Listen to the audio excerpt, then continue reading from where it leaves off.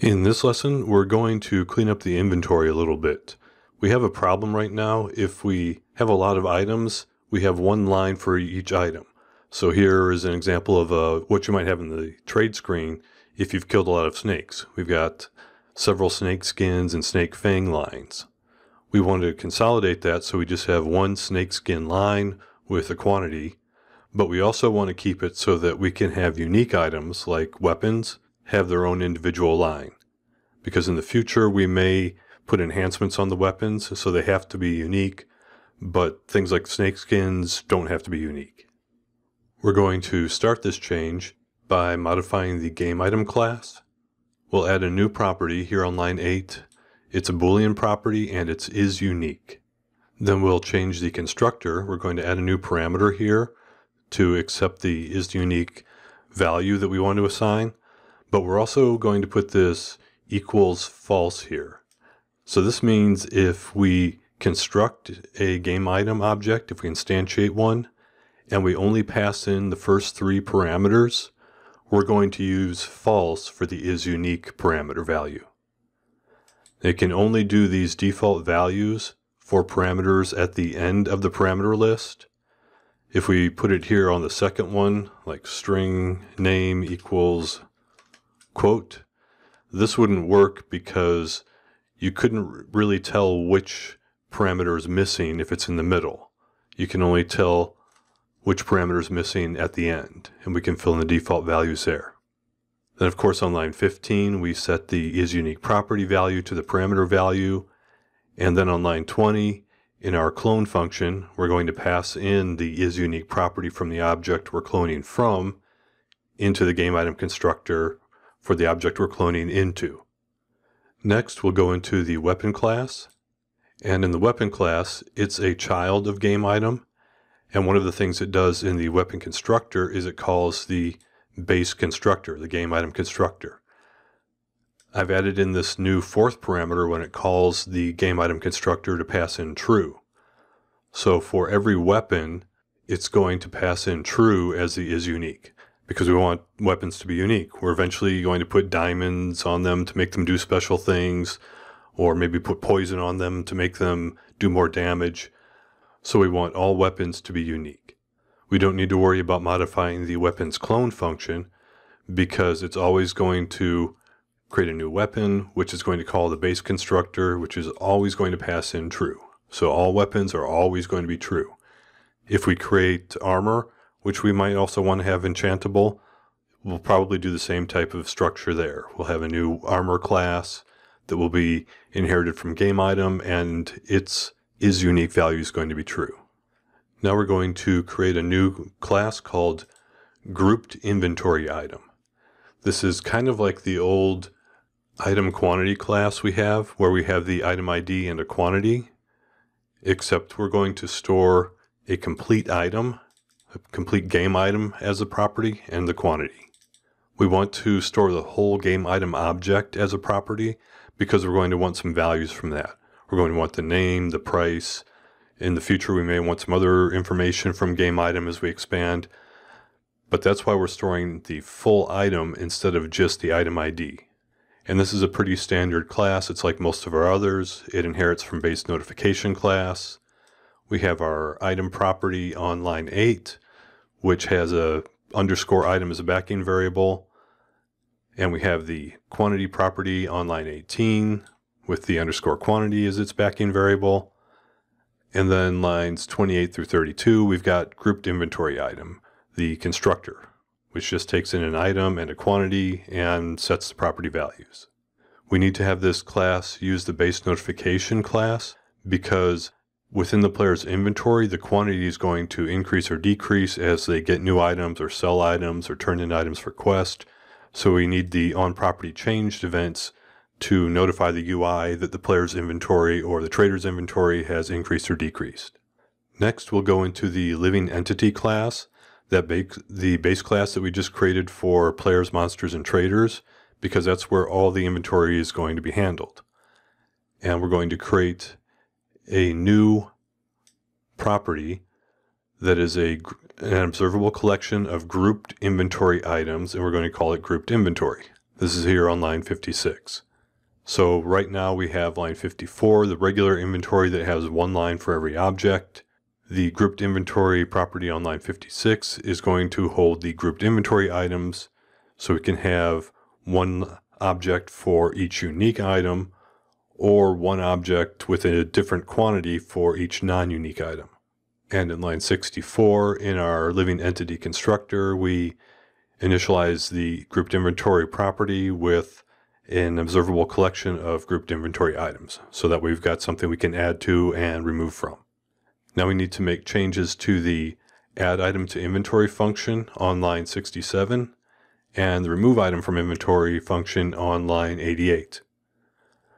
Before the add item to inventory just did this line that's on 69, it added the item to the inventory property and then it did the property change notification on line 85.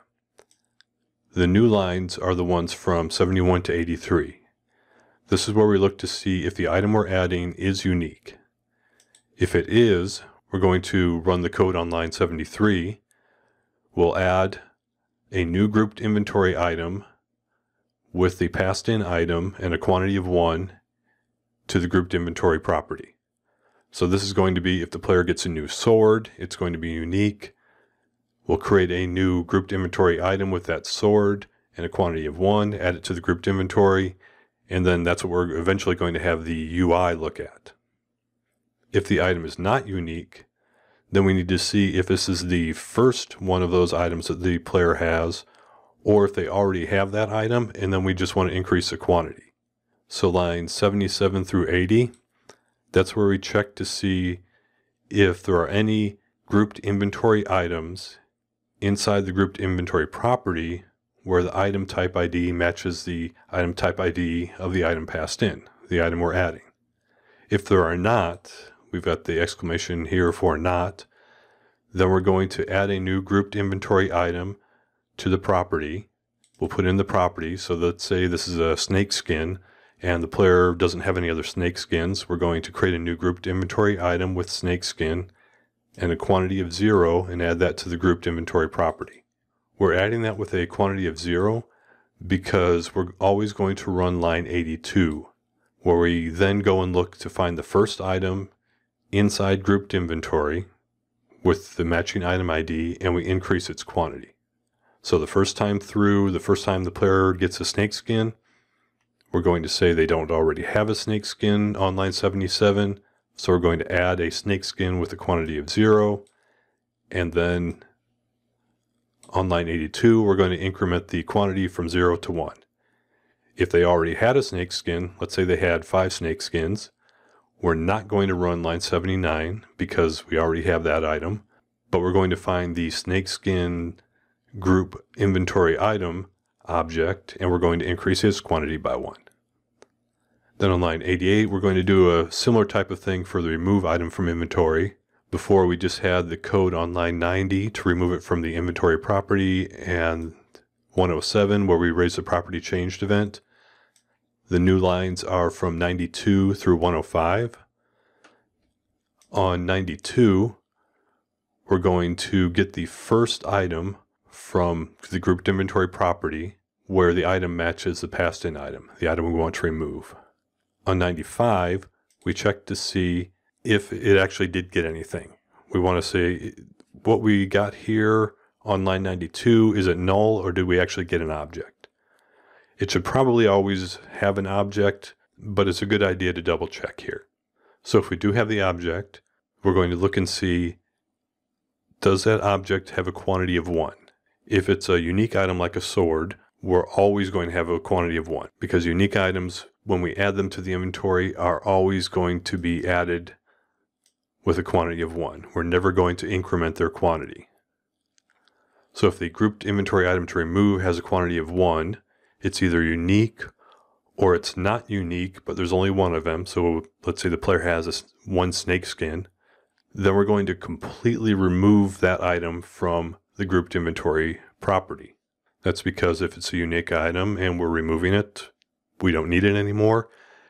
If it's a non unique item like a snake skin and they had a quantity of one, we don't need to show snakeskin with a quantity of zero. We can just remove that item. Otherwise, so if it's a non-unique item and the quantity is greater than one, so let's say they had five snakeskins, we're going to run the else on line 101 and then the line 103, we're going to decrease the quantity by one. I don't really like having a grouped inventory property and an inventory property. This is kind of duplication, but right now I don't want to start pulling out the inventory property. We've got some other things we're going to need to do to get that to work well. So for now, we're just going to handle grouping the inventory by adding this other property. Now that we have the models all updated to handle grouped inventory items, we need to change the UI to actually use this new grouped inventory property and display that. So we'll go into main window.xaml and on line 168 we have our data grid that shows the current player's inventory. Before we used to say binding current player.inventory because we were binding to the inventory property. We need to change that to grouped inventory. Down in the data grids columns, because grouped inventory is a grouped inventory item object, its property here is item. So to get to the item's name, we have to set the description binding to item.name. Before this used to be be name because we were putting game items in the inventory, but now we need to follow the path down from the grouped inventory item, its item property, and then the name property on the item property. Same with the price. We need to say item.price now. And then on lines 175 through 178, I added a new data grid text column with the quantity property. And we don't need to put item here because this quantity is a property of the grouped inventory item class. That one right there on line 18 of grouped inventory item. So now the player's inventory is going to show the grouped inventory. It will have the name, the quantity, and the price. Then we go into tradescreen.xaml do the same type of thing for the two data grids there, the player's inventory and the trader's inventory. So here on line 40, we've changed it to current inventory as the item source. If we look down on 48 through 59, we've got the same type of thing with the columns. We now say item dot name for the description, item dot price for the price, and then we've added this quantity column. Then if we go down to the trader's inventory, on line 75, we change the item source to current trader.grouped inventory. Then on lines 83 through 94, we change the data grid text columns to use the new bindings. I've also changed the button text. So when we were buying and selling items, down here on buying on line 100, I've changed it from buy to buy one and if we go up to the button on line 63 through 65, I've changed that from sell to sell one. So that way we, the player knows they're just selling one snake skin if they've got 10. And the final step is to go into the tradescreen.xaml.cs because the item source for the data grid is now a grouped inventory item instead of a game item. We need to change the code a little bit there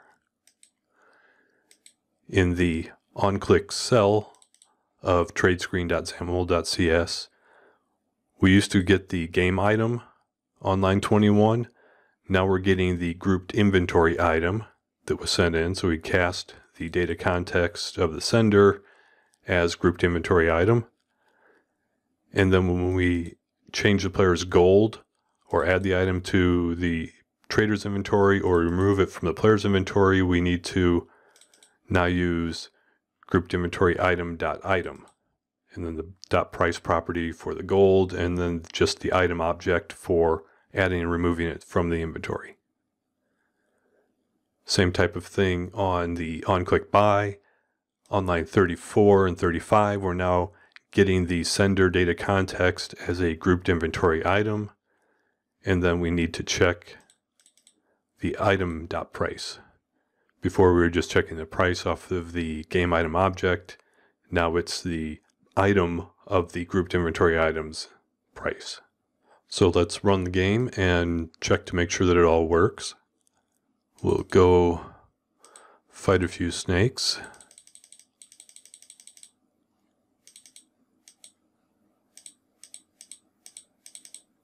Okay, see here we received one snake fang and one snake skin, and the snake fang and snake skin incremented instead of adding two new lines. We'll fight a few more. See that the player's inventory keeps incrementing. If we go to a trader, we see that the player's inventory has the consolidated, the grouped inventory item with the quantities, and the trader's inventory has its grouped items with the quantity.